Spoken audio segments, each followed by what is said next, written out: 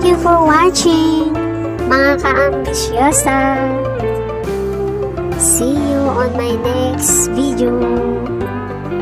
Take care and God bless. Bye-bye.